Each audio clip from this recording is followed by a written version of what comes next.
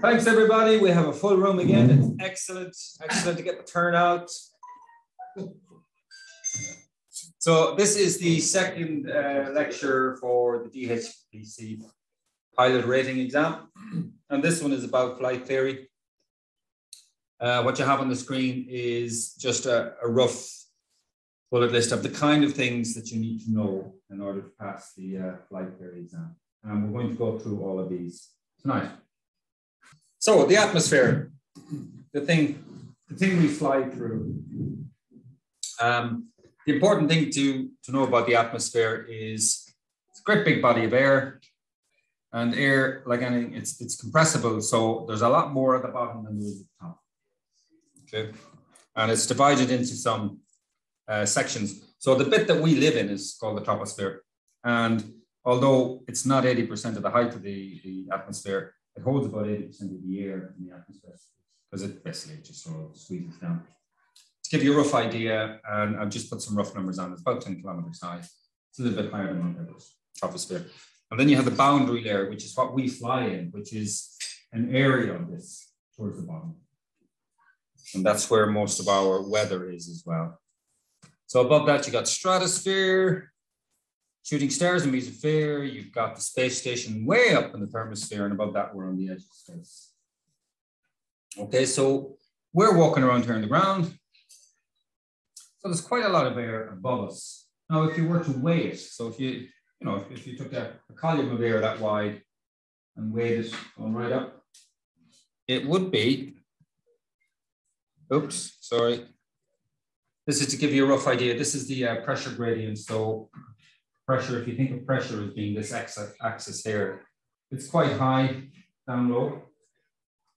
And then it moves up in a sort of reverse uh, logarithmic line. So it, it, it's quite, uh, the thing to notice here is it's quite consistent within the troposphere, especially in the area that we fly.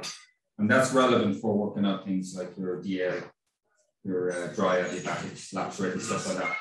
And um, things so like troposphere, 80% of air, is that by weight?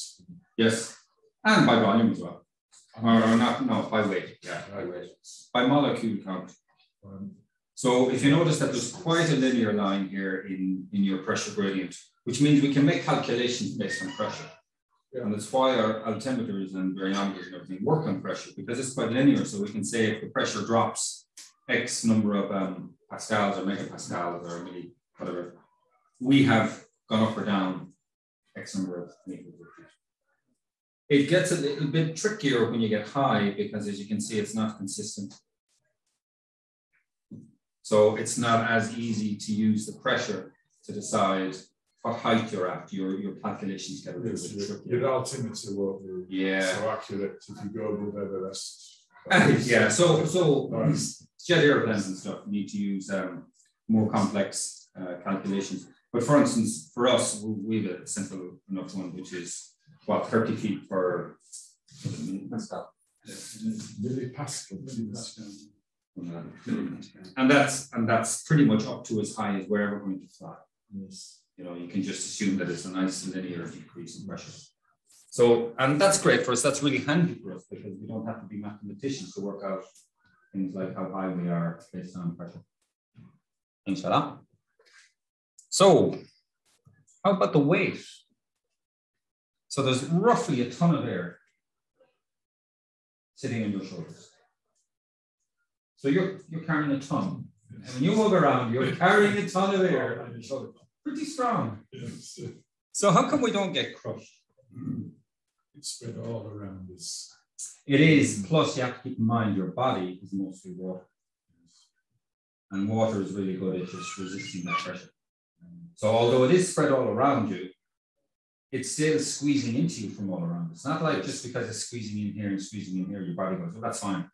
It isn't. Your body is squeezing back at the same pressure because it's made of water. Um, and then the things like your air cavities, so your nostrils, your lungs and stuff, well, they don't get crushed yes. because you're generally breathing air at the point that you're actually standing on the ground. It becomes a problem for, we say, a diver if you, we say a free, um, a free diver, somebody who takes a breath of air on the surface and then dives down and sleeps and go. Well, they're obviously breathing air at the surface at, you know, the surface pressure.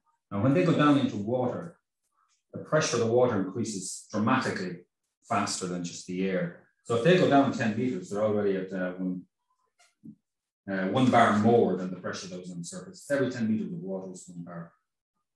Um, so a really good free hold diver, free breath diver, if they go down, say 30, 40, 50 meters, their lungs are like two walnuts. Not that small, but they get completely compressed because the air inside their lungs is not at the same pressure as the water that's outside. And it does, it actually gets squeezed.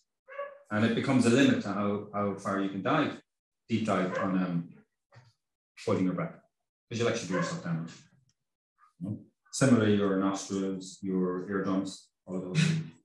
Uh, it doesn't happen to scuba divers because scuba divers breathe air at the same pressure as the water around them. But there's a, a, an inverse problem with a scuba diver. A scuba diver goes down 30 meters, and takes a big breath of air out of their tank and holds their breath. And then they decide to wander up to the surface. The air in their lungs will expand three times its volume and burst their lungs. You need to be really careful with scuba diving that you don't hold your breath as you're ascending yes. because you'll the air will basically because it's you've you've um the air you breathe it is at 30 meters of, of water, which is a three bar. Yes. And if you slowly go up into the surface, yes. suddenly you're at one bar and the air will just expand like this and your lungs don't get that big. So they will actually burst out of your chest. So in, in the water, you're talking about pressure in bars, and in the atmosphere, you're talking about pressure in millibars. And the reason is because pressure drops a lot slower. So a thousand millibars to a bar. Yeah, yeah. So ten meters of water is one bar. Yes. Yes. You know, whereas what three thousand feet is one bar. Yes. Yes. yes. Can I interject with yeah. an amazing but macabre fact? Yeah. What I learned yesterday maybe today. Wind turbines kill birds by impact. Wind turbines kill bats by exploding their lungs. Because the bats know that the wind turbine is there in the dark. Uh-huh. They can echolocate it. They miss it. They go into the air that the turbine leaves behind Oh wow! This low pressure zone. Yeah.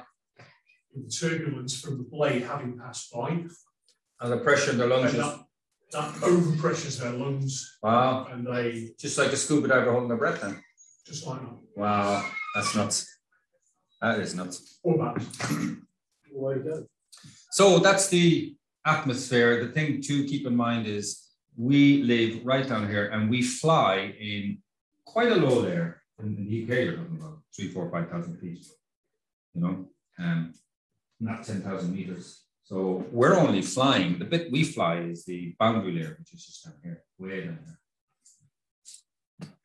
Right, so Bernoulli's theorem. Who knows? Clive, you, you were at the lecture last year.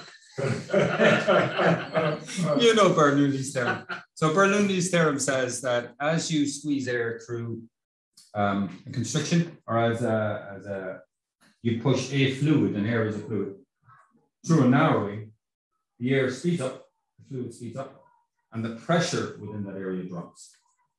So what you'll find is if you put a pressure gauge here and some kind of um, speed gauge, you'll find that the air, this is air you're pushing through here, the air is moving faster here than here, but the pressure is less. Higher pressure here is lower pressure here. Now, you want to, that has a number of practical um, applications for us when we fly. And one of them would be if you're flying a hill here and there's this gap, you say you're flying this front of the hill, the wind's coming on the hill. You're flying along here and there's a gap and you're flying again. Well, if you can notice the gap, generally there'll be a restriction. So what's going to happen? The wind is going to speed up as it goes through that. Yes. So if you're not careful and you wander along here and you wander in here, you might find that all of a sudden you're pinned and you're pushed through the gap and you can get then you get all the turbulence in the back and everything. So that's Bernoulli's theorem in practice. Yes. So that's why if you were flying a hill like this and it was quite strong wind, you tend to fly here and then you might do a nice little semicircular to keep yourself on the run to not be pushed back into the, so there's another place that uh, that happens for us. For instance, here, you're flying a hill. Here's a hill. You take off here, nice wind, and you find that you go up to the top and all of a sudden you've been pushed over the back. That's Bernoulli again. And it becomes even more pronounced if you have an inversion that's sitting on the top. Because the inversion is like, um, like a, another wall and it squeezes the air. Or even a cloud, even a, you know, a heavy cloud above the hill will also create a sort of a, a layer that, that squeezes the, the wind. So that's Bernoulli in action. So Bernoulli's theorem, increase in airflow causes a decrease in pressure.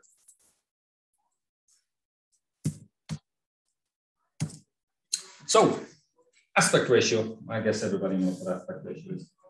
It's the ratio of the length of the chord to the length of the span of your wing. The span divided by the curve. Yep. Yep. So let me see aspect ratios of most, say MIG-Bs and stuff between 5 to 5.5, which are saying that the span is roughly five, five and a half times longer than the chord. This is in what way?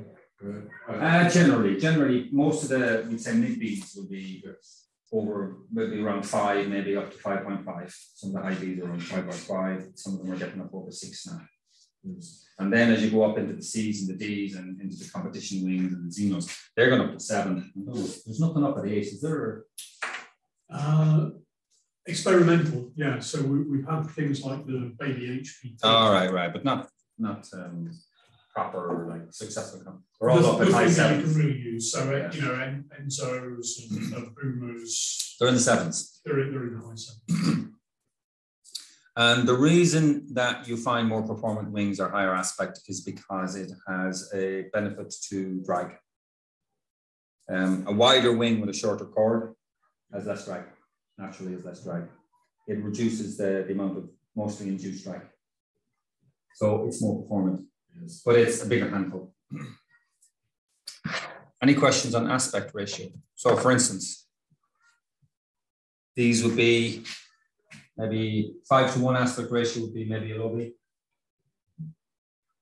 And then you get into seven to one, you're getting into Ds and, and competitions. And literally they have similar shape, it's just that they're more stretched. Depth in them. Well, they are because they're wider, right? But with, with the modern high aspect ratio wings, which especially these two liners and with all the lines and stuff, I the the one I flew anyhow, and I flew it on a nice day. It felt really solid, really really solid. Um, and I think they're they're they are more solid. And we'd say some of the lower aspect ratio wings, but when they go, they go big, but they don't collapse as quickly, especially with um, that that was my experience of it, which is yeah, I agree. It was deceptive. I was going, man, this is amazing. It turned into sixpence. It felt really solid, really pressurized. Like this thing will never go. Felt solid. It does feel like you're all right. yeah. yeah. As a flyer, though, which which is preferable uh, if you've got uh, a wing that is a bit more prone to collapse, uh, as, as opposed to one that uh, will not collapse, but then when it collapses, it's a really that's going to be personal really, preference too. really big.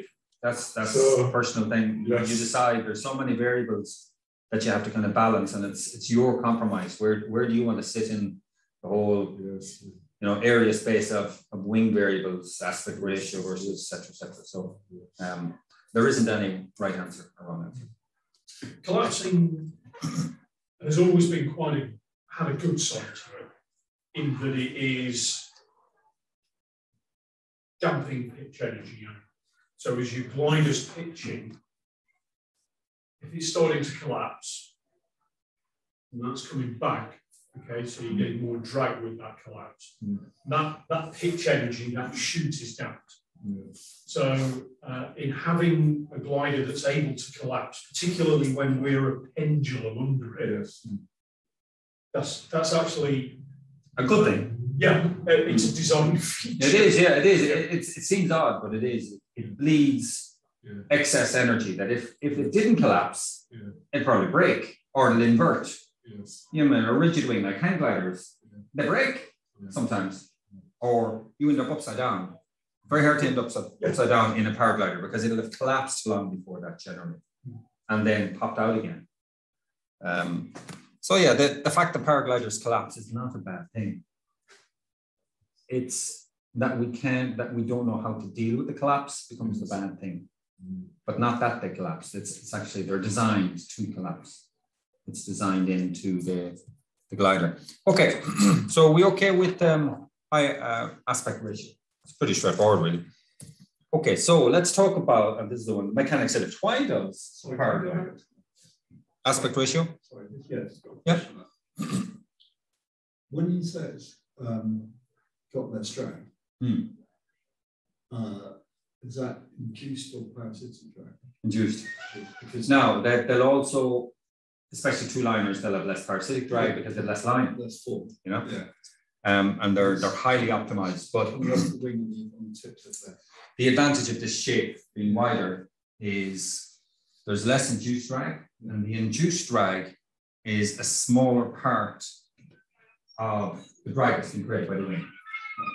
Because the wing is wider, so it has less of an impact. It's less, it's less significant, whereas this induced drag is huge. It's smaller wing, and it also plays a more significant role in Europe. Um, gliders. Gliders have very wide wings.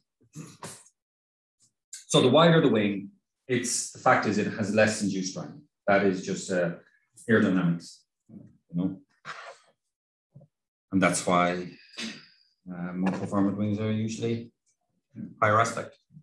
Well, they always are higher aspect.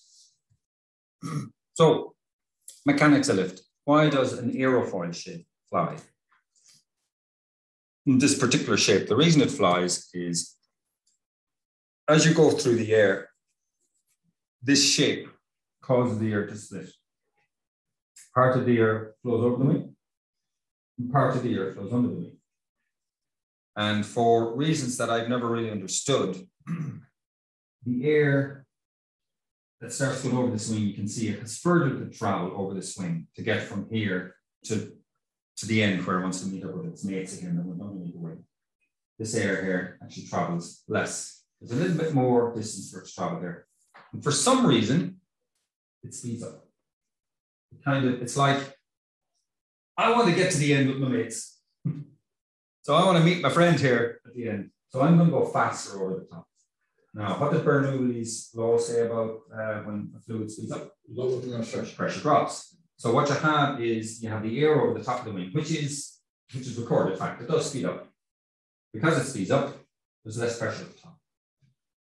So, and the air that's flowing under the wing, as you can see, there was this body of air here, and it's kind of squeezed down into a narrower section here. And that causes just here at the front, it causes an increase in pressure. it doesn't speed up because it doesn't generally have to go much faster. It's, it's less distance to travel. But there is a, an increase of pressure underneath and a decrease in pressure on top. So what's happened? Your airfoil is just going to move up. And strangely enough, you get more lift from the top than the bottom. Intuitively, you'd think that the lift is coming from the bottom, it's the air pushing the wing underneath. It's not. It's actually the fact that the there's a lower pressure on the top that it's sucking the wind up in a sense. So that's roughly a third from below and two thirds from above. Need to know that in the exam, you'll probably be asked that. Any questions on that? That's how lift is created. Magic. Magic. So let's talk about the forces that are at play when you're flying. So there's three main forces there's lift, drag, and gravity. So if, if you think of us flying through the air, generally when a wing is flying through the air, it's not flying level, it's actually flying, it's always sinking through the air. We're gliders. The gliders are always sinking through. If you're good, you'll find uh, a block of air that's rising faster and sinking. So you'll actually have a net gain and you'll, you'll be but you're always sinking through the air. So you're always traveling in a slight direction down through the air. And you can think of your lift as being at 90 degrees to the angle of your direction of travel. So that's the lift that your wing is generating that we just talked about, roughly at 90 degrees. Your drag is what's pulling you back. And we talk about what's causing drag, but anything moving through the air creates drag. And depending on its shape and you know the material it's made out of and other factors, that drag may be more or less. And it's one of the big design factors that um, um, people who design paragliders and stuff, they're always trying to reduce drag. So drag is always working against your direction of travel. It's pulling you back, it's pulling you back. That's that's why it's called drag. If it was working in your direction of travel, it wouldn't be called drag. It's called thrust. Drag. And then the last one obviously is gravity, which is always straight down to the center of the earth. So those are the three forces that work on a paraglider. Now, a paramotor would have one extra force, which is thrust, which is in the direction of travel, generally, unless unless you're an idiot and you turn sideways or something. but generally, thrust is in the direction of travel. Um, so the way it, it works is you have this resultant when you add your lift and your drag vectors together. The way you add a vector together is you just complete the square. So you go up there, across there, down here, and then you, that's the diagonal. That's your result. That's your vector. So that is what you're getting. You get so much lift and you have so much drag, and what you end up getting is this force here, which is opposite to gravity. Now it's generally never the same as gravity. In fact, it never is the same as gravity because we're all the time sinking. It's always a little less. Um, because we can't generate enough of lift without an engine to be able to actually counteract gravity. We're always sinking. So our resultant is always less than gravity. The only reason we go up is because we find a body of air that's going up faster than we're sinking. Right. So we're kind of piggybacking on another force, which is the force of that whole mass of air that's going up. But from the point of view of just the glider, it's always sinking. So those are the three um, forces, the three forces on a paraglider is lift, drag, and gravity or your weight. And they they're always working together in some sort of relationship. If you were flying level in still air, neither accelerating nor decelerating, your resultant and your gravity are exactly the same. Right? But as we know, if a, if a paraglider is flying still air, it is never flying. It's always sinking off at its uh, right angle. So the glide ratio or the lift to drag ratio, which is something you might be asked for, the lift to drag ratio is the ratio between lift and drag.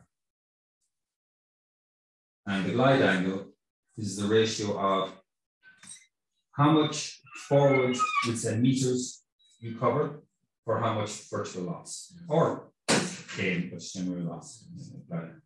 And they're the same, they work out the same. The relationship between your lift and your drag is the same as the relationship with uh, how much forward direction of travel you're going and how much vertical loss you have in that. Synchrony. Yeah. Your synchrony. so uh, LD ratio is the same as your glide ratio. They work out the same. Yes. Are there figures to them? Yeah, yeah. Different wings will have different ratio. So my wing, I guess, is about a nine in still air. Um, the really good wings, the competition wings would be up at quite 11 now, Pete. Would it be even more? 11 to 1? Yes. You know, A's will probably be an 8. Um, a parachutist wing would probably about a 3. 3 to 1.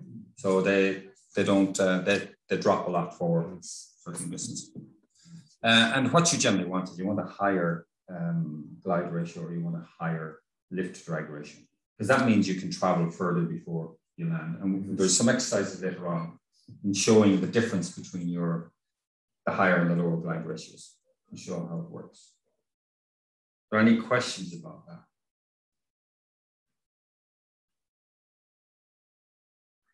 No? Center pressure. You will be asked about that. What is the center pressure? You just need to you just need to learn the um, uh, you won't have to write it down. So if you're asked what is the center pressure, generally what it means, what it is, is they give you three or four answers and you pick the right one. So just remember that it's it's a point, it's a virtual point or a magical point where you can think of all the forces acting. Now, obviously, all the forces aren't acting through things. They're acting all over the place on the wing. But you can conceptually think of them as acting through a single point. Yes. And that's the center pressure. Yes. I think the word is something like the resultant of all the lift forces. Well, I'm sure there's lots of different uh, definitions. You just have to learn it. You just have to learn it. Right. Oop. Right. So, angle of attack. So again, direction of travel is well opposite direction of airflow. So if you're flowing through the traveling through the air, you're generally always sinking. The air is then directions coming into your face. And that's one in, that'll be one in eight then. For a, normally as a paraglider. uh, uh, B would be one in eight. Higher B might be one in nine. Or you usually the big number first, nine to one. Um, and then as you get into the season, the D's, you're going to be going 10 and 11 to one. yes. They just have better performance. So, the angle of attack is if you take your wing, you take your direction of air, airflow, or which is basically opposite direction of your travel. You take your chord line, which is you have to draw a line from the very tip to the back of your paraglider right through the very center. It's the angle it makes there is your angle of attack. Now, as, as you pull the brakes, your angle of attack goes up. And as you put on speed bar, generally your angle of attack decreases. So that's where angle of attack is relevant. It's, it's, it's how you um, it's how you control the glider effectively is your angle of attack. It's, you know, if you pull both brakes, the whole glider increases in angle of attack. If you pull one brake, one side, the angle of attack increases. That causes it to have more drag, it slows down, and the other part of the glider turns. So you actually turn into that direction. So angle of attack is how you control your That's probably even more true for the two liners uh, with the toggles where you're directly controlling that angle of attack with the. For everybody else, we're on brakes, All right. so you're pulling the back of the wing down, Hmm. which is one form of drag. But in pulling the back of the wing down, you're then levering it up at the front as well. Any questions? Does it does it make sense, or am I going too fast? Makes sense. Okay. Which is why I'll be going to uh, rear riser steering on my next liner. Uh, what's your next glider going to be? I don't know, but I tell you what, I'm waiting to fly Chris Fountain's new Oh yeah, the flow. two and a half liner Mhm. flow fusion. Mm. See, they have a two and a half liner Rush six now. Really? Mm. The Rush six is the two and a half liner of the Delta. So I'll wait till Stephen comes back. This is to give um, an exam, um, an idea of angle of attack and the airflow over an aerofoil as you increase or decrease your angle of attack. Honestly, when, when you see this air, it's a wonder the things work. It is, yeah. It's, it's kind of scary when you see it now. I don't know how relevant this is. This is um, this is a, an actual rigid airfoil. that's in a wind tunnel with smoke. But you know, it's, it's, it's similar shape to our airfoils. So this set of slides here, Stephen, is to show you how show you the air flowing over an aerofoil, and as you increase the angle of attack, what happens to that air? uh, it becomes uh, disturbed, more turbulent. Yeah, so the air is obviously the red bit. Yeah. So as we increase our angle of attack, you can see it starts to get a little bit more turbulent here. A little bit more, a little bit more. And all of a sudden it has detached Yes, yes. and you're at your stall point. So this is what happens if you go, if you pull too much brakes and just hold them on. You get to this point here. So this is what they call detachment. Here at the very beginning, where you're flying along very nicely, there's a lovely streamlined flow there across your wing, and all the forces, the lifting forces are working the way they're supposed to, and everybody's happy and we're gliding around and everything's good. Um, but then what you get, if you increase the angle of attack too much, air wants to stick together. It has a kind of viscosity. It wants to stay together and it wants to hang on to your wing. It wants to kind of hug your wing. But if you push it too much and push your angle attack, it just can't. And it breaks away from your wing. Once it breaks away from the wing, you don't have that lift anymore at the front. You don't have that nice uh, increase or decrease in pressure in the, in the front. And your wing stops flying. And that's what happens here when you get up to the very top. You get to your stall point. And at your stall point, you just hit this detachment of air here. So as you can see, it's not rushing around here and trying to meet its mates at the back and going faster and generating a nice area of low pressure above the wing. It's just going, ah, can be bothered with all of this. Yes and it's just floating around here and creating all sorts of turbulence, and this just totally um, interferes with any lift potential of that airplane. And it's not flying anymore. You get to this point, it's not. It's stalled. And just, go, just go one back. Yeah. Or maybe two, two. Yeah. So you can see where you get that change in the feeling of your glider. in that as you're back end of the wing has, has already got that detachment of flow. You've got that mushiness. Mm. Uh, and you, you, know, you could be putting more left and more right in, and it's doing nothing. Mm. So, so there's nothing, nothing to act against. Mm. So one of the exercises you do if you do a SIV, it's finding the stall point. Now what you'll do is you'll slow the wing down and slow the wing down, and the idea is that you learn uh, the feeling of your wing as it approaches the stall point so that if it does happen in the wild, you get off the brakes and you let it fly. And, and what Peter's saying is, as you can see here, as you're approaching the stall point, you got a lot of turbulence back here. There's no uh, laminar flow back here. And this bit of the wing here is just going to be fluttering about. It'll have, even if you pull brakes, it's not going to do anything. It's got nothing to act against. You know? So you feel it as you as you approach the stroke, you feel the back of your wings starting very mushy and very light and fluttery. And even if you start doing something to your brakes, it's not going to do know? So that's one of the things you do with a, a SIV is the search for stall. And the idea is to recognize the signs before you get there. Rather than, now the other thing you do in a SIV is uh, you learn what to do if you actually stall your wing and how to get it back flying again. But you're much better to recognize the signs before you stall it rather than recover from a stall if you can help it. So these are the um, characteristics of stall, high angle of attack. Uh, that causes, and the reason that of causes so it causes the separation of air, which just this huge, massive turbulence behind your wing. There's no lift at all on the top of your wing, none at all. Um, you have a lot of drag because now you got this quite big um, profile pushing through the air. So you got a lot more drag, no lift on top.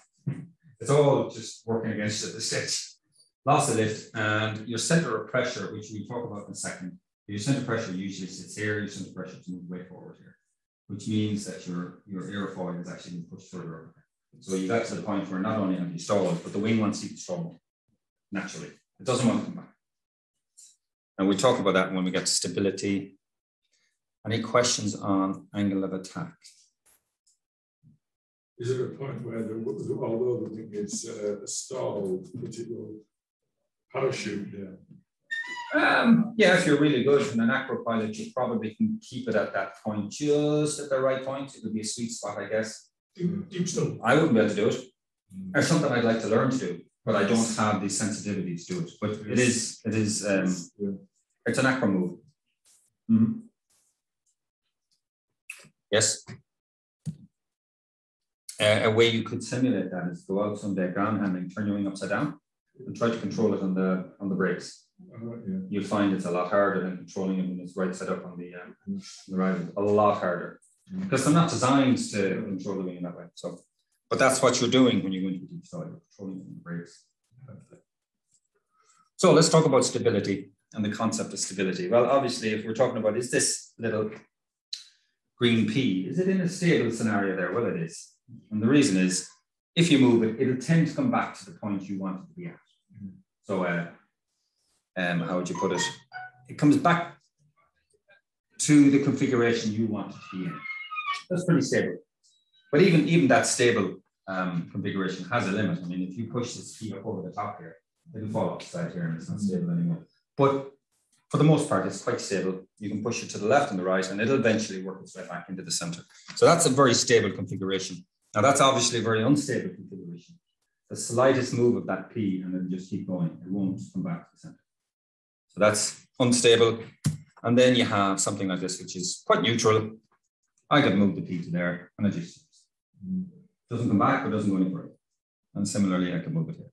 That's neutral. So let's talk about um, paragliders and the concept of stability of paragliders. So is an aerofoil shape stable or unstable? Is it naturally stable or naturally unstable? In other words, if it kind of gets out of shape, does it want to get back into shape naturally? Or does it want to even get into more trouble? More You think an airfoil shape is stable? Okay, we're just taking the airfoil shape.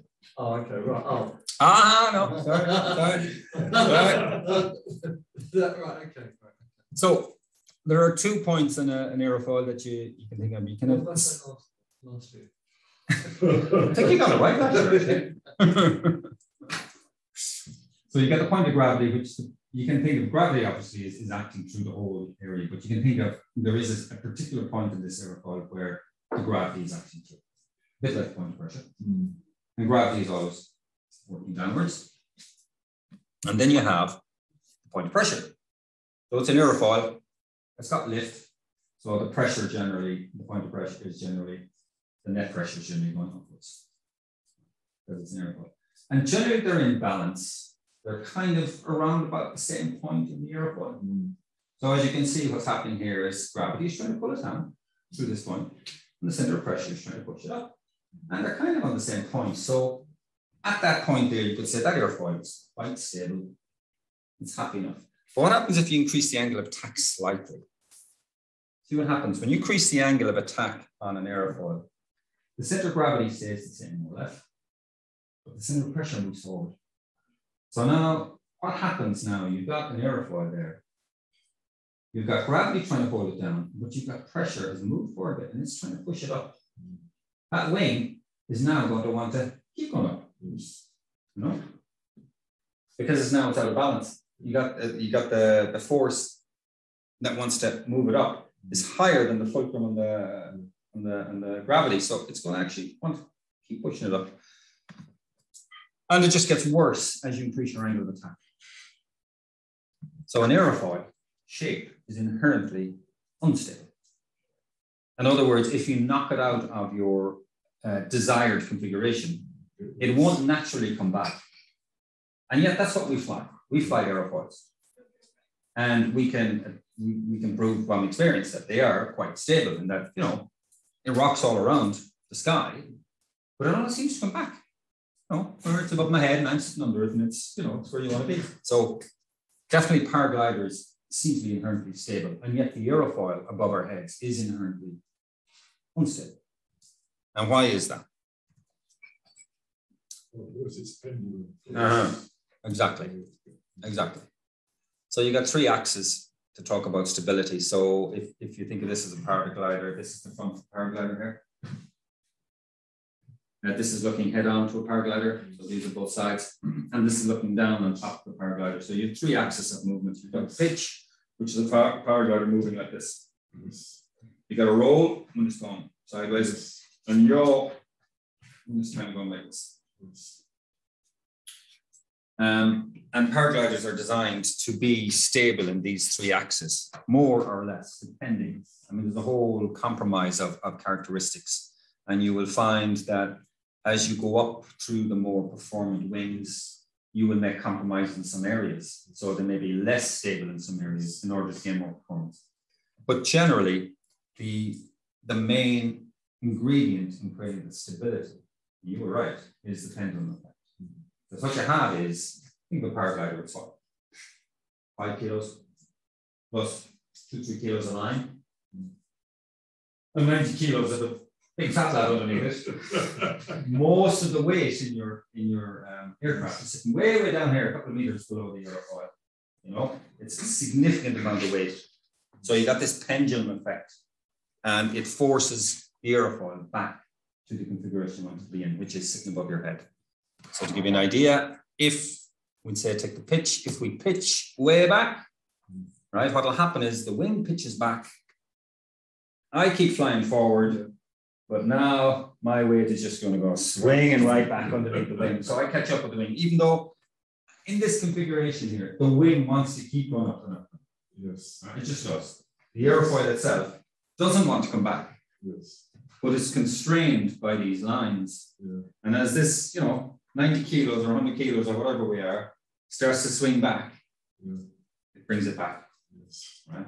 It forces it back into the shape we want to be in. Yes. So the pendulum effect is what keeps a paraglider Yes. stable above our heads. Yes. It's not the airfoil. The airfoil is working against us. And that's, um, so that's the pendulum effect on pitch. So very similar on roll. So for instance, you're flying along, one half of your paraglider goes into quite a strong thermal and it's pitched up like that. And this wing pitches down. Again, the whole wing wants to keep going. But these lines don't allow it. And your weight eventually you'll, you'll, you'll roll up and eventually you'll start coming back down underneath it again. And you pull the wing back into the shape. So again, pendulum. Now the, the yaw is different. Yaw is to do with the shape and the washout, or the sorry, the sweep back. So I'll explain that. So this is looking down on a paraglider, and we're looking at the stability. If I've got a paraglider like this, and it doesn't generally turn like this so much, you, you'd be more familiar with the Yeah. with the roll and the pitches, but you know, generally, especially the lower aspect ratio gliders don't give you a sense of this. The bigger, wider ones will will do all sorts of funny. It- It's when both wingtips start forward Yeah. and they bend forward and back Yeah. like. But uh, it, it's not um you don't notice the yaw as much in a paraglider, but it does yaw. Um, so is a paraglider yaw stick? In other words, if it goes off your configuration, does it naturally want to come back or does it naturally want to keep turning? So it's yaw stick. And the reason is it's what they call sweep back. So if you notice with a paraglider, this is the leading edge here. It's kind of swept back here and it's swept back here. It's not a straight line right across there. And there's a reason for that. Number of reasons, but one of them is it um, improves your yaw stability. So what happens is if the paraglider turns like that, keep in mind we're moving in that direction. So the airflow is coming like this. And for some reason, I'm flying through the air, and some reason my paraglider goes like that. We present a bigger part of the wing to the airflow here than here. And this creates more drag. This part of the wing now creates more drag.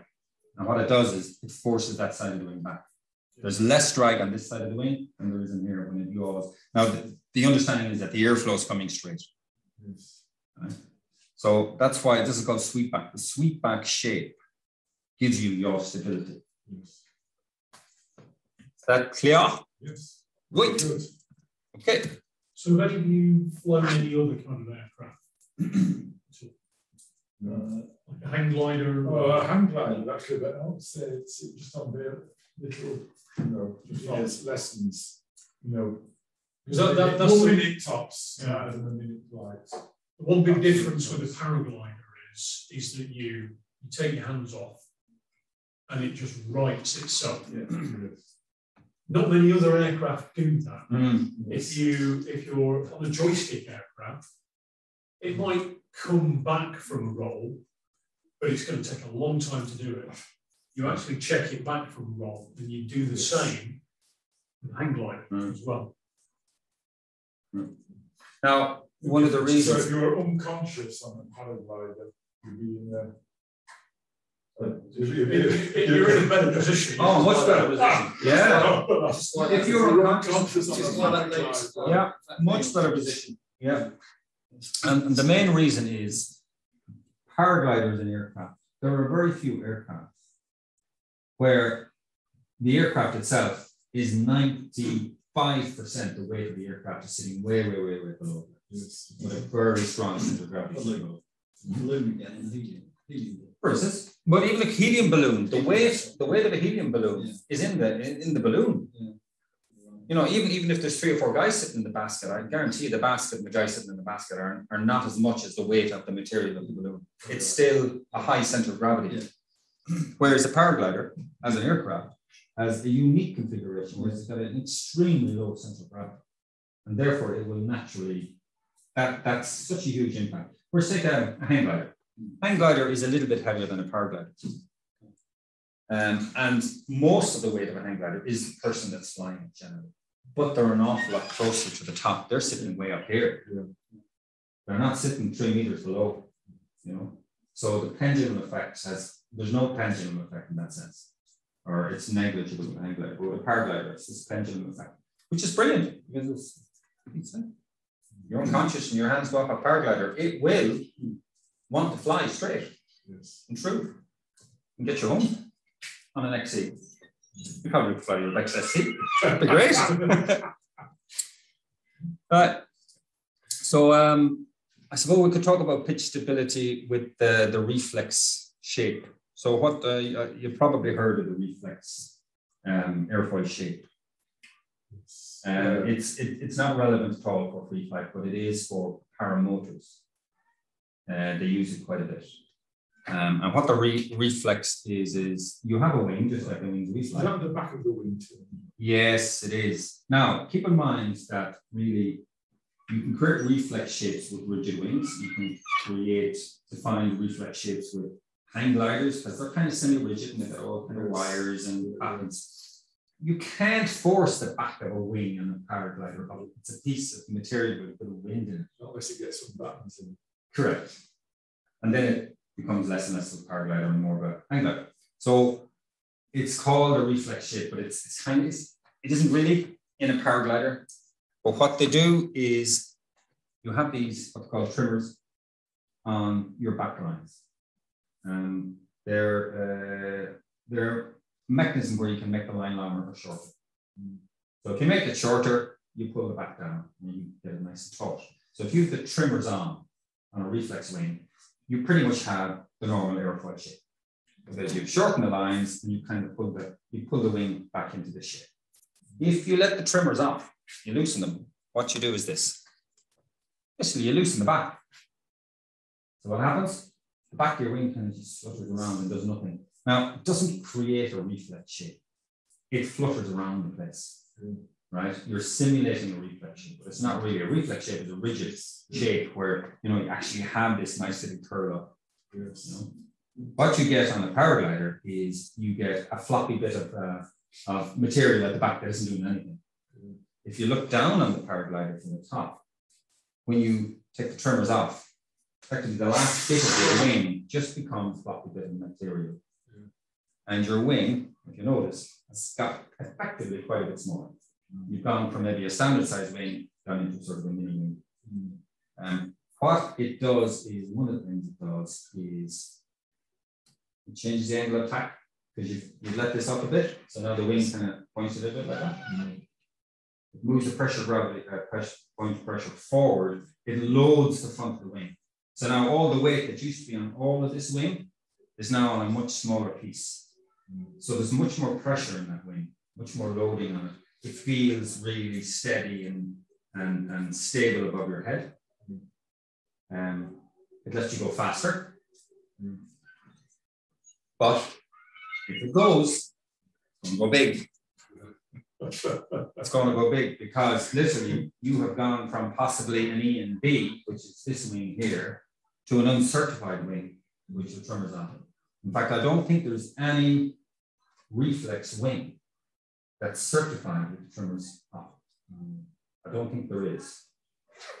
I think you effectively have changed the characteristics of your wing. But the advantages it gives you is a much more stable profile. And you can you go faster because you have a smaller wing and your angle of attack is decreased. So that's why they use it on paramotors because paramotors have a great big motor on your back that kind of, you're normally in a paraglider, you're flying along here and then we above your head. With paramotor, you're kind of flying always up a hill a bit. Yes. And you want the wing to come forward a little bit and have more penetration, not to be always at this angle up there. You want it to. So you, you find uh, reflex wings um, are used a lot with paramotors. But what isn't really advertised is that you're going from possibly a nice ENB certified wing. You put the put the trimmers off, you go to an uncertified wing.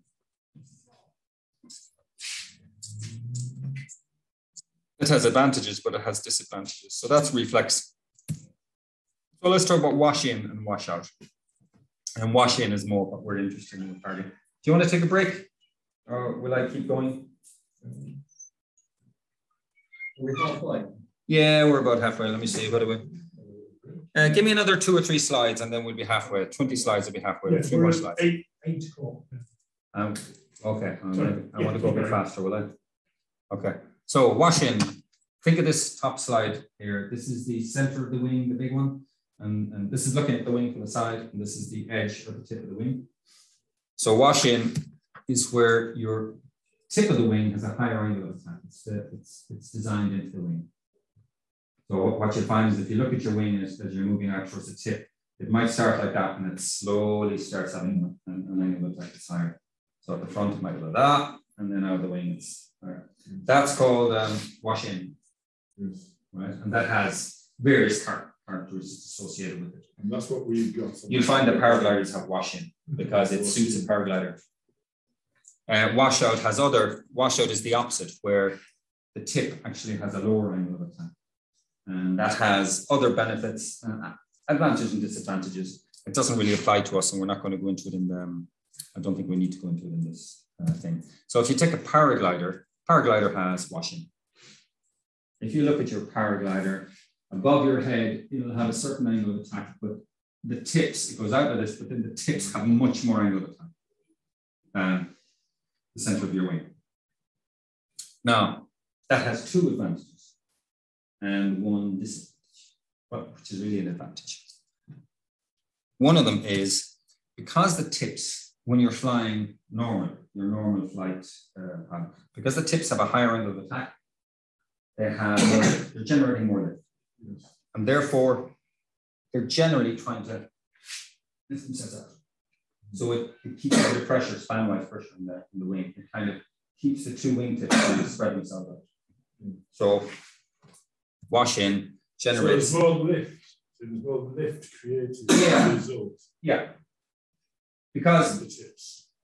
because as generally um, your your wing isn't trimmed so that you get maximum lift at trim.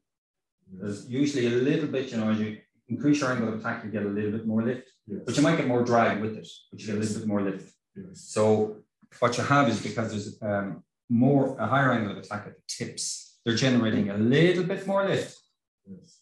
than the center part of the wing. Yes. And because the paraglider is a circle, that lift is pointing out in that direction. So in other words, it kind of Yes. just nudging the wings out a little bit more. Yeah. So it gives you a nice stable arc. So wash in is an advantage for a paraglider for that reason. Yes. It's Right. stable arc. Yeah, it, it kind of wants the wing to thing. Yes. Uh, the disadvantage is if you go to a higher angle of attack, you'll keep in mind that your wingtips are even more, they will tend to stall first.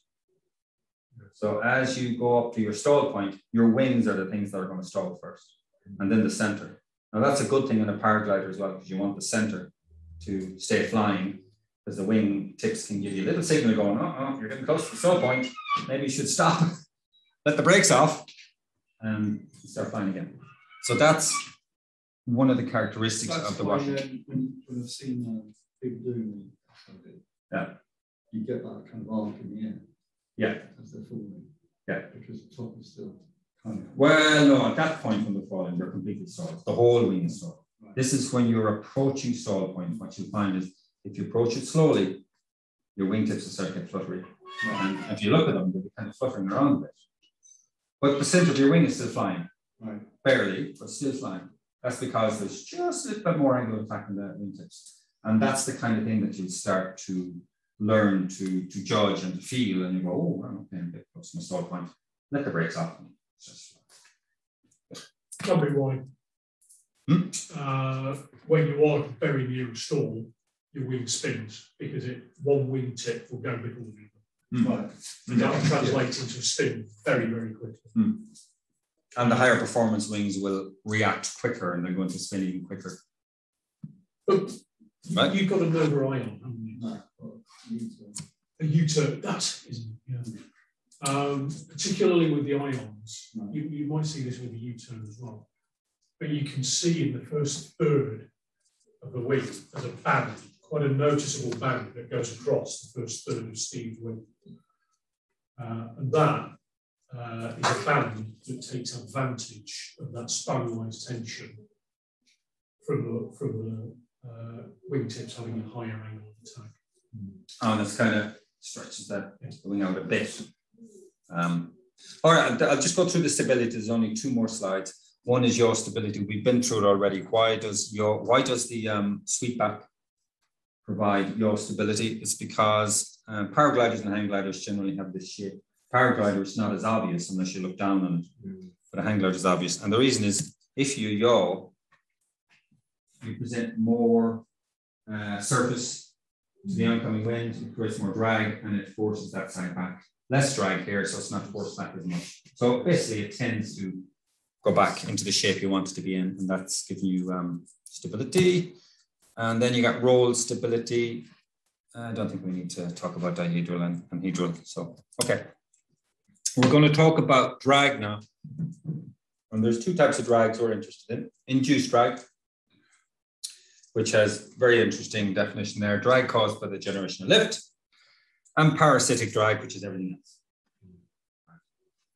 So induced drag, this is where we have our wingtip vortices and stuff like that. Um, so what happens when you're flying through the air, we went through it before with the aerofoil, that there is a, a high pressure, sorry, a high pressure underneath and a low pressure above the wing.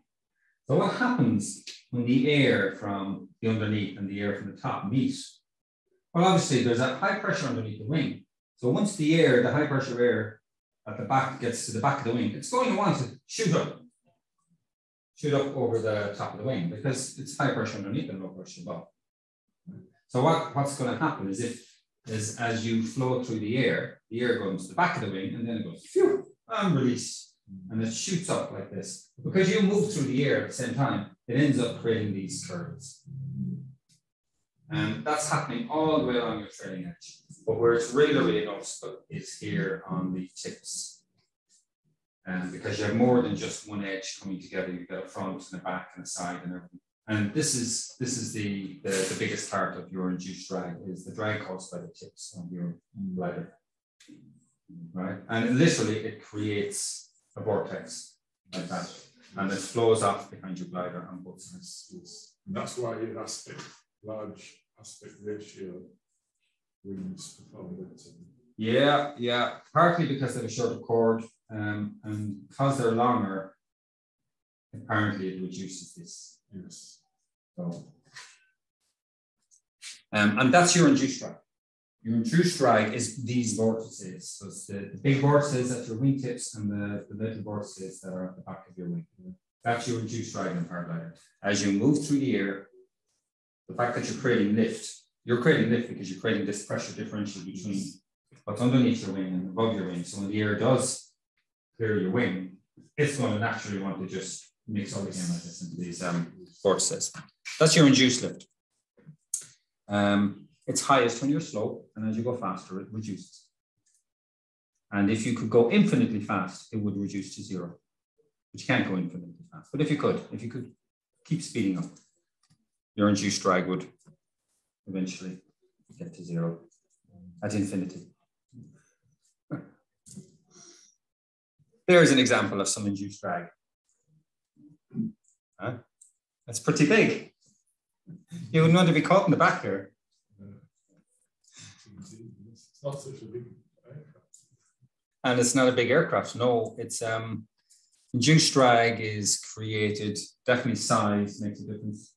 Um, weight makes a difference.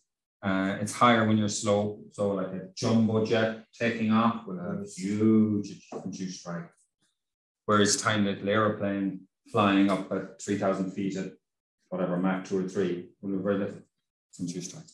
So it goes with wing loading. Wing loading, right. So which is why tandem wings, if you get flying behind a tandem wing, you can get quite uh, a bit of turbulence mm, you, you get bumped around a bit. So if, if there's a tandem floating around the sky, give it a little bit more space when you're flying behind it.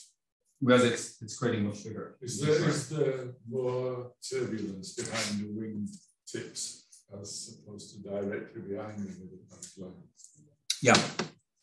The biggest bit of turbulence is here on the tips. So if, I, if somebody's in front of me, as it were, put it there and I'm here, I'm going to experience more turbulence here than I am if I'm directly behind them.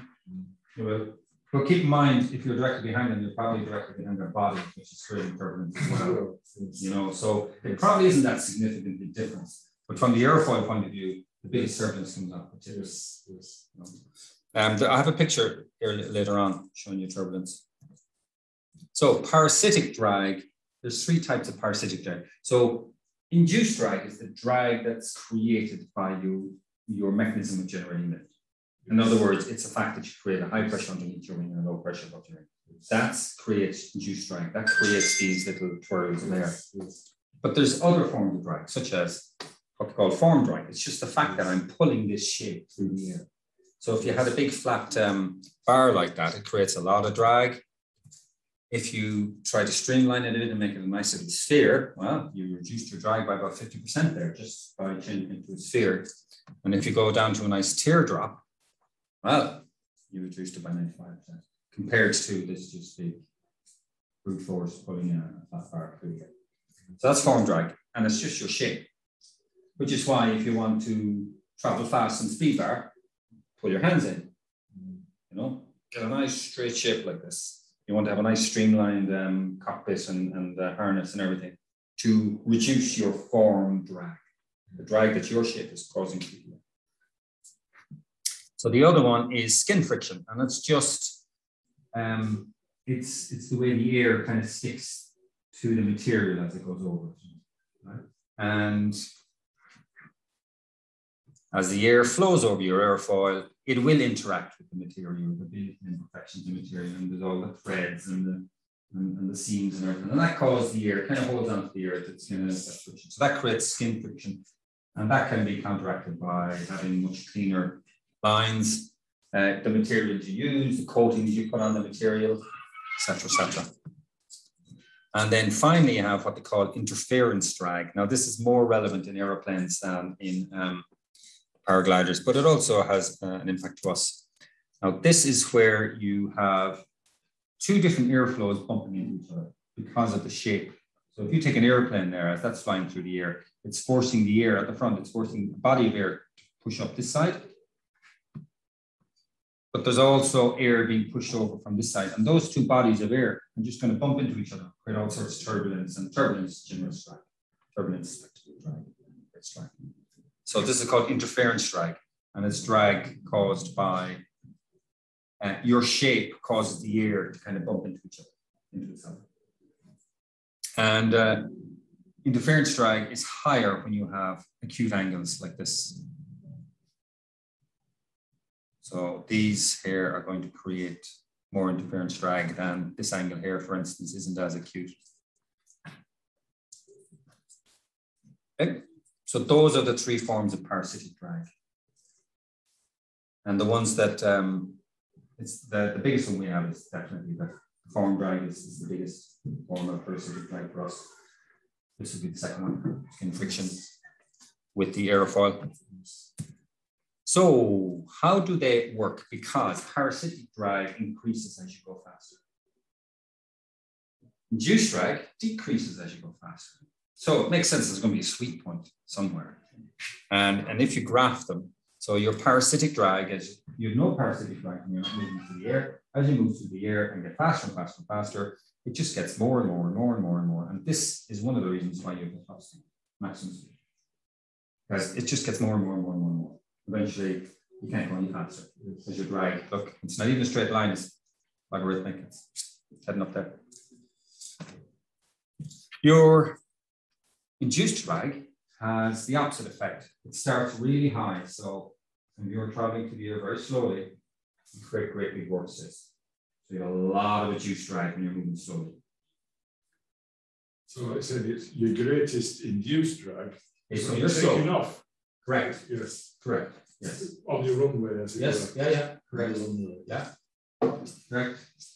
Uh, but as you get faster and faster and faster, it decreases. And there will be a point where both these graphs, um, your total drag obviously is you add your parasitic drag and your and your induced drag, add them together and you get a number. So that's my total drag. Yes. So it's holding me back. Yes. And your minimum drag is only at the point with these two graphs, it, right? And that is going to correspond. There's your total drag. You can add them together, right? Add that number and that number together, you get to that.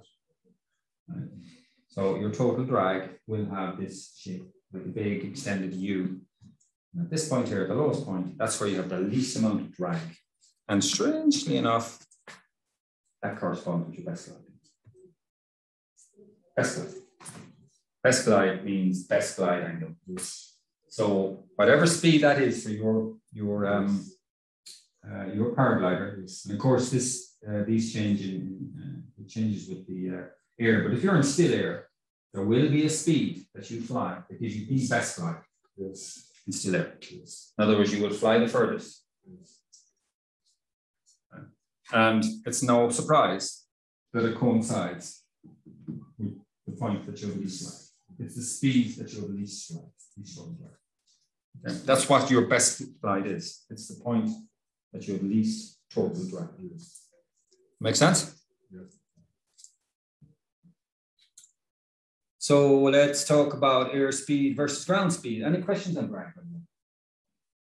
Uh, yes. Uh, what happens at the lowest sink rate? Uh, we'll go into that later. Um, I've got that. So we will, yeah, we'll talk about that later. because I'll, I'll show the polar curve and we can talk about it then. Um, but any questions about drag itself? Okay, right. So let's talk about airspeed versus ground speed. So ground speed, we're, we're all, we know what ground speed is. Ground speed is, is what we generally think of as speed.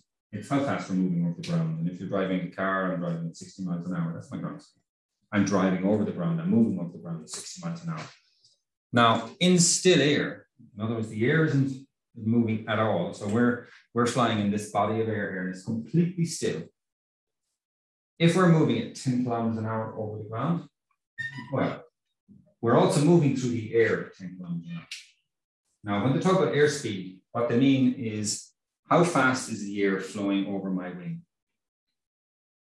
which is opposite to the direction you're traveling. So if I'm traveling in that direction, actually, I've got my arrow wrong. My airspeed is actually it's the wing going over. It's the air coming into my face. Yeah. Airspeed is how fast is the air flowing over your wing. Yes. So if I'm moving in that direction, the air is moving over my wing in this direction. In still air, if I'm moving over the ground at 10 kilometers an hour, in other words, my ground speed is 10 kilometers an hour, my airspeed is 10 kilometers an hour. Still air. But you're, you're descending, so your actual distance you're moving is, Yeah, doesn't matter. is further. No, that, So, that, that has nothing to do with Uh, It doesn't matter if I'm going up, I'm going down, I'm going sideways. How fast is the air flowing over my wing? Yeah. That's my air speed. And in still air, it's exactly the same as my ground speed. So, what happens if we've got a tailwind? Right? So effectively, we're flying in a big body of air that's moving along over the ground at five kilometers an hour. Right? We may, we would still be moving through this body of air at 10 kilometers an hour. We're moving along there, 10 kilometers an hour. But from somebody standing on the ground, we're now moving over the ground at 10 kilometers an hour, plus the fact that this whole body of air is moving forward at five. We're moving over the ground at 15 kilometers an hour. So our ground speed is our airspeed plus the wind. And if it's a tailwind, it's actually moving us faster. So do you understand the difference between ground speed and airspeed? Yes. And, and similarly, if you have a headwind, flexible, well, Well, it just slows your ground speed. Your airspeed remains the same. I'm still flowing through this mass of air here at 10 kilometers an hour. But this whole body of air is moving this way at five kilometers an hour. So my ground speed is not on five. Does that make sense? Okay. So that's the difference between airspeed and ground speed. And it's important. Um, it becomes really important when you're coming into land. The reason is uh, you need airspeed to fly. You need the air flowing over your wing to generate lift. You don't need ground speed to fly. You need airspeed, right? You don't need ground speed. For instance, you could be in a wind tunnel, completely stationary, but because they're blowing air over your wing, you may be flying in that wind tunnel, but you have zero ground speed. So you don't need any ground speed to fly. You need airspeed, and that's important.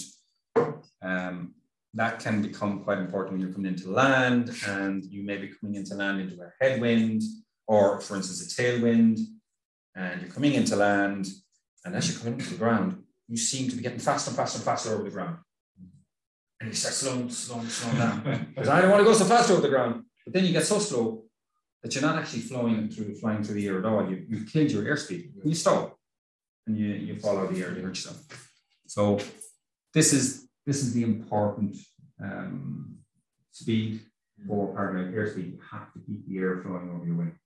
You need airspeed to fly. You don't need ground speed to fly. Now they're usually quite related, They're usually, but you need airspeed, not ground speed. Right, so any questions about airspeed, ground speed? The difference between airspeed and ground speed?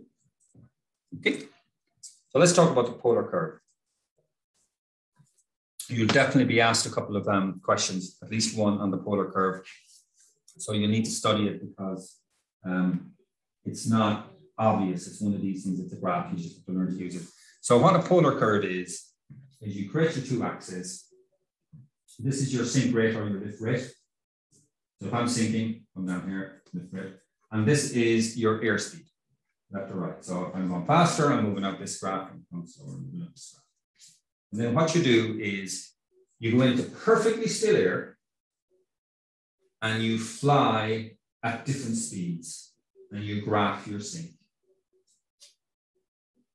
Right? So somebody's gone out one day with lots of equipment on their deck and they've flown around in a beautiful still morning and they've gone slower, slower, slower, and they check, okay, how, how much am I sinking now? Oh, I'm sinking that much, I'm sinking two meters a second. Okay, there's my, um, if I go at that speed, I sink at two meters per second. If I go at this speed, I sink at 1.5 meters per second. If I go at this speed, I sink at this. And you end up getting a graph that generally always looks like this, always right? It has a drop off point here where you stall. There's no point in graphing down here because you're stalling out the so you're stalling out the.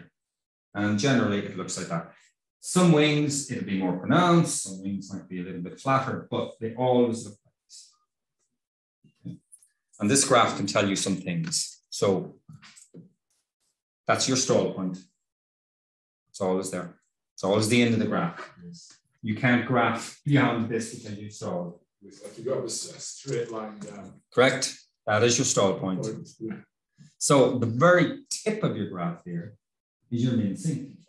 Because literally that is what it is. If you work it over onto your sink axis, it's the point on your graph, on your line, that you have the minimum sink. That's your min sink point. So whatever speed that was, that's your min sink for your wing. And that's the speed. If you fly at that speed, you have the minimum sink. And then the one that you're probably more interested in is your best glide, which is what gives me the furthest distance that I could possibly go. What's my best glide? And the way you get your best glide in still air is you draw a line from this point here. Uh, you draw a tangent to your curve. And just where it touches your curve, that's your best line. You work that up there and you go, that's the speed I need to fly at to be at my best glide. And generally, that is the pattern you see. You find your stall is on the left, your min sink is in the middle, and your best glide is a little bit to the right. Um, I believe modern wings, these two points are getting closer. Older wings, that were wider apart. It's just design and, and stuff like that. But um, that's the, but generally that's the pattern you get to stall, mid sink, Okay, so you can use this polar curve then to work out. This is the one you're really interested in using. My best glide. I want to find what's my best glide. It's my best glide in still And you could go up there and this could say, let's say 36 kilometers an hour. I go, fine. In still air, I'm going to fly 36 kilometers, kilometers an hour because that can give me the best glide. I can get the furthest. What if there's a tailwind or a headwind, or you're in sink or lift? What do you do then? Do you still fly at 36 kilometers an hour? Well, let's talk about headwind and tailwind. So, just showing you, this is the same graph. This is what my best glide was in still air. So you take a, tangent from the point there, and you just draw it so that it just touches your curve. The point it just touches the curve. Come up to here, and that gives you the speed for your glide. Let's say you have a tailwind. Now, if you have a tailwind, this is your air speed. What's going to happen to your air speed You're going to go faster. There's wind pushing you. The way you work this um, polar curve with the tailwind is you start the point of your line further to the left. So let's say you had a tailwind of, I don't know, I'd say these are tens. So let's say you had a tailwind of 20 kilometers an hour you actually draw your line to your curve from the, 20, the minus 20 point. This is what you just have to learn. Yes. If you have a tailwind, you move to the left. Yes. And you start your point from there and you draw again tangent to where you just touch your curve, your um, sorry, your your what you will find is in a tailwind, your best glide is a little bit slower. Because it'll, it'll be to the left of where it was in um, still there. So what's that telling you? If you've got a tailwind and you want to maximize your glide, slow down a little. Yeah. Now what? Don't slow down so that you get to the but a little. If you slow down a little with a tailwind, you maximize your glide. That's what this is showing. Okay. So is that what you guys are doing if, uh, say if you're on the ridge and it's slightly to one side, here's the ridge, around on the glider and the wings coming from there. When you're flying, are you flying uh, faster? As it were, slightly into wind. Generally, into wind, I'll be on bar. Um, but I don't really slow down when I've got a tailwind that can just fly around. Might be on bar because I just want to go somewhere yes. else. But so if it's just slightly off, if it's it has a bigger off, impact you will, will, you will tend to put your uh, speed bar on. Mm, mm. It, it, you have it's it's more significant with a headwind yes. to fly faster than yes. with a tailwind. Look, there isn't really a lot of difference. Yeah. Obviously, on, on the hill, you're not you won't be flying in, in. Let's talk about a headwind. Yeah, yeah. Right. I've now gone to 20 kilometer an hour headwind. Yes. I've done the same thing. I've started from a point there. I've drawn a tangent to the curve. Where it touches the curve, I've raised. know, that's my best glide with a headwind. In other words, wind in my face. In other words, it's telling me you got to speed up. And you will generally find this pattern where there's a more significant benefit to flying faster in a headwind than there is to flying slower in a tailwind. Because a tailwind, there isn't much difference really between the speeds, your best glide speed. But look at the difference here. Your best glide is way out here. In other words, it's telling you if you got wind in your face, get on the speed bar. That's that's what this is telling you. And this, if you've drawn this curve precisely, which generally you can't get it precise, but if you could, this would not only tell you to go faster, but tell you what speed you should fly at. Or for a 20 kilometer an hour headwind, you should fly at whatever that is, 30, 40, 45 kilometers an hour. For a 20 kilometer, kilometer an hour tailwind, you should be flying at 34 kilometers to maximize your glide. It's a similar thing for if you're in lift and in sink. Uh, if you're in sinking air, move up the graph and start your point. And if you're in rising air, move down the graph and start your point. And what you're going to find is if you're in sink, speed up. If you're in lift, slow down. If you've got a headwind, speed up. If you've got a tailwind, slow down. But significantly, it's with the headwind and the sink. That's where you get the biggest benefit of getting your speed right. Yes. If you've got a headwind or you're in sink, get on the bar Mm. because it, you get a much bigger increase in your best line, Yes. more significant benefit. Um, But quite often it's just full on. yeah, yeah, give it all you have. We don't speed up a lot, do we?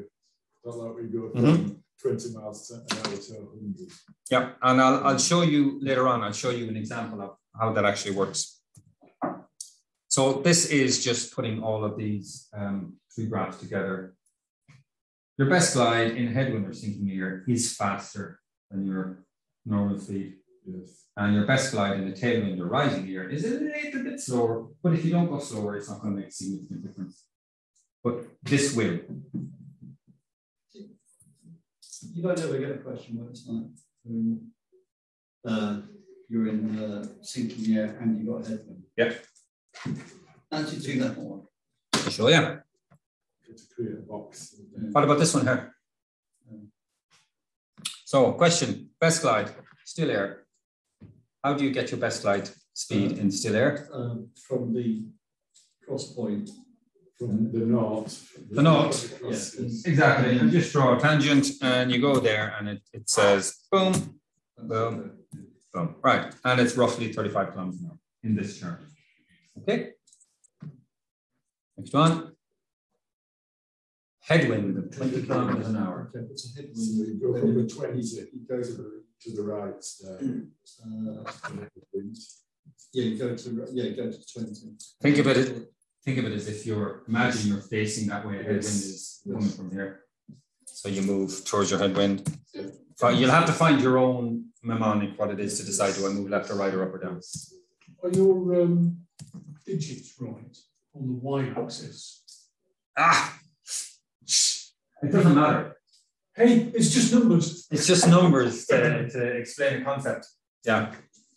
So, um, so headwind, you find your best glide is faster. Now you're up at about 45. Before we're at 35, now we're at 45.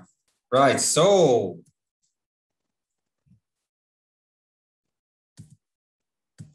aha. For you, Clive. Yeah, no, exactly. What are you going to do? Where are you going to start your line, your tangent line? You got a headwind, so you want to come out this axis. Yes. But you're in sink, so you also want to go up. Um, yeah, So you go, I got a headwind of 20. I got sink at two. Where did it join? That's my start point. We did that, yeah. There you go. And it finds that it's uh, quite fast. It's three kilometers an hour. You probably, with, with your wings, you probably won't be able to reach that anyway. Um, feet might. And mine might. Yeah. So uh, you just, you do the same. You add, add some ballast. Ballast, yeah. Yeah. So you just have to learn how to use a polar curve. You're not going to learn it here in this presentation. It's just give you an idea. Yes. Yeah, you have to figure out. I, I find I can never remember should I go left or right or opposite. Right.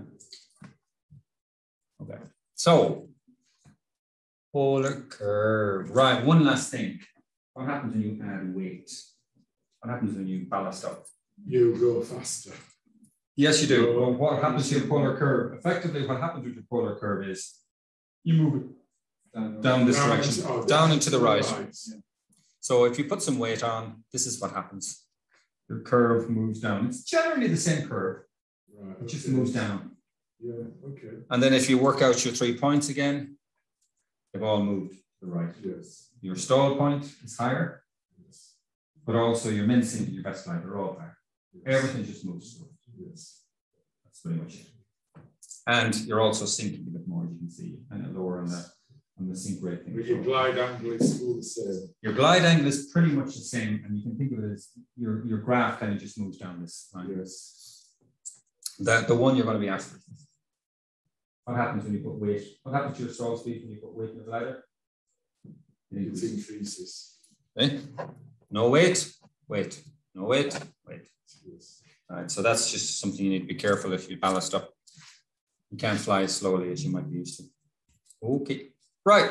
Let's talk about a couple of examples. This is nil wind. So here we are. I'm, I'm at a thousand meters, a kilometer up, still air, no thermals, absolutely nothing. I'm on my final glide, coming in six o'clock in the evening. Brilliant XC, on over the Humber. I have a straight glide home. If I go at min sink, interestingly enough, that won't get me further than my trim speed. Now, why am I saying that? Is that correct? I think that trim speed should be best Trim is, is best. My best Yeah. glide, my trim speed is best glide. This is best glide, is min. Yes. Right, min sink is, if you look at these numbers here, min sink is where you have the least, the lowest vertical uh, sink rate. So on my min sink, which in, on this hypothetical glider at 32 kilometers an hour, which is, know, let's say my trim speed is 38, I've got a brake on. I'm only sinking at 1.505 meters a second. That's my minimum sink of those three. But because I'm not moving forward as fast as on the other two, I don't actually, by the time I hit the ground, I don't actually get the furthest. Although I have them in sink, I don't get the best glide. Whereas this trim speed, which has to be close to my best glide, trim speed, I have a little bit more sink, but I'm traveling horizontally over the ground a little bit faster, almost uh, two meters a second faster. I've made these numbers up to make this look right, but this is generally the pattern of On, the- on glider. a paraglider, is trim speed just your, your hands? Yep. No brakes. That's what it's trimmed at, yeah. Yeah. And modern paragliders, trim speed and best glider are pretty much the same. Yes. On older paragliders, they weren't, Yes. but on modern gliders, generally, uh, they recommend you just be flying around hands up for best glide. Um, if I put on speed bar, although speed bar gives me a much faster horizontal distance, I'm moving over the ground much faster. I've also increased my sink rate quite a bit. And by the way, these, these points do work out here exactly for these. So what happens is if, if I go from um, a kilometer up with speed bar, I actually don't quite get as far as if I was at sink or at trim speed. Trim speed gets me nine kilometers. Speed bar gets me 7.4. So I'd actually go an extra kilometer just by keeping my hands up Yeah. and still it. Right. So uh, this dotted line here is my trim speed at nil wind. Think of trim speed as my best glide. Yes. Right, so I've now got a tailwind, I've got wind behind me. Yes. Things are a little bit different. Speed bar still is the shortest of the two by a good bit. My trim speed and my min sink now are pretty much the same. Yeah. Yeah. And if you go the other way, I've got a headwind of 20 kilometers an hour, roughly. Uh, 3.5, I must have been very uh, precise. on that. I remember working all these numbers out to get this pattern here. So what you have in a, in a headwind, again, 1,000 meters, I've got a headwind, and these are the numbers of my wing.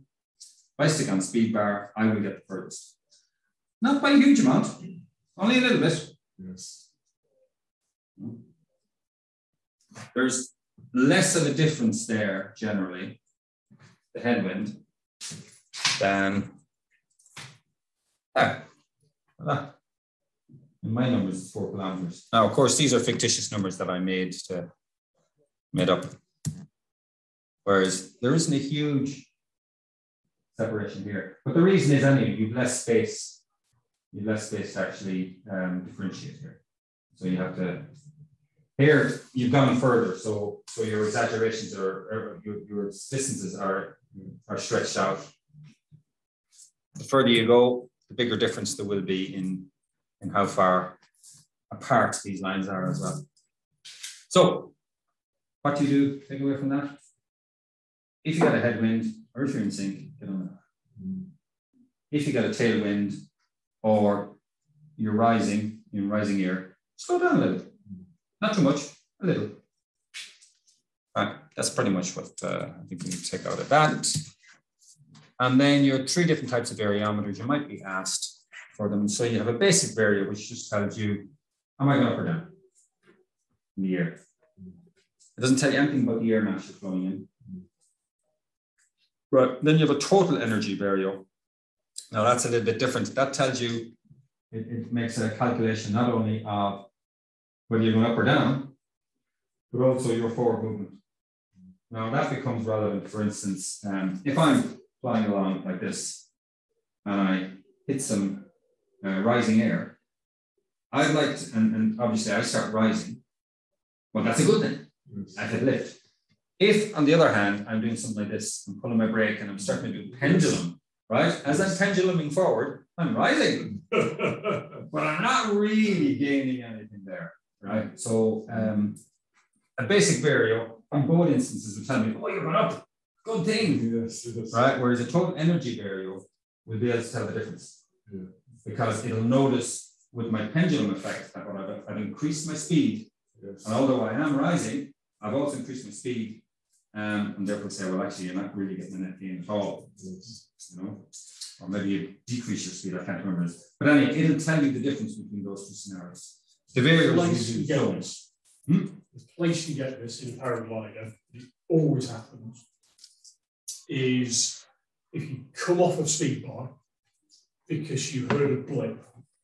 So you just got a little blip and you thought, oh, there's going to be some rising air around here. You come off speed bar, and funnily enough, that, that beeping continues. Yeah, because the wing drops back. You've just come off speed bar, you've slowed down, that's converted to extra height. Mm. Yeah. Uh, so you think sorted. yeah, I think sorted. something, I'm and it's just it's a. It's big. Um, the varios we fly are of this type. generally. I don't think the total energy. I think. Uh, so you can start to put in total energy um, with a newer style of paragliding varios because you've got the three or the six axis inertial measurements, All right. Okay, I didn't know that. like your phone's got. Okay. Uh, so yes, you can do that. There's not a great tradition of doing that Yeah. because we, we just You just we don't have the speed range to in, in a in a sailplane. Yeah, it, it was a big technical thing that needed to be sorted, but in a paraglider, it's just less of an issue. I mean, Yeah. like I said, the only time you properly get it is you come off a speed bar because you heard a blip, Yeah, And you get caught up by that once, or twice, and then you know. and then you know. Then you know. Yeah. So then the, the third uh, type of vario again is nothing to do with us. Um, it's what's called an air mass vario. So that will tell you also about the vertical movement of the air you're in. So it's, it's the whole body of air I'm in, moving up or down. Yes. Um, and that is it